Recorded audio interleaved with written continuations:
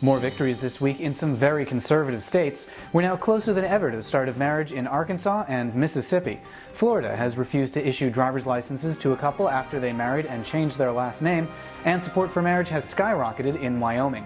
For the American Foundation for Equal Rights, I'm Matt Baum, and welcome to Marriage News Watch for December 1st, 2014. This week's big wins were in Arkansas and Mississippi. In both states, federal district court judges ruled that marriage bans are unconstitutional, but they also imposed a stay on their decisions so that the states will have time to appeal.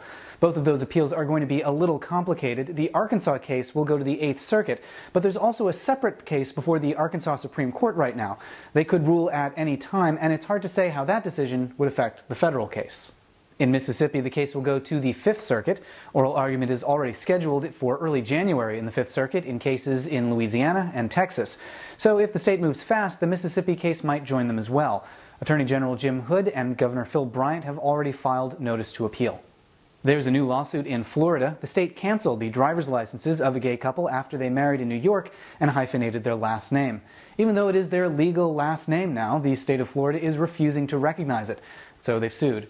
Over in Wyoming, a new survey shows public support for marriage is up to 53% to 39% opposed. That's a big jump from 10 years ago when support was at just 24%.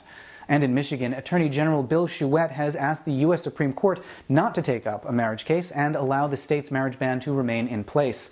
Supreme Court could be making a decision about whether to hear the Michigan case any day now.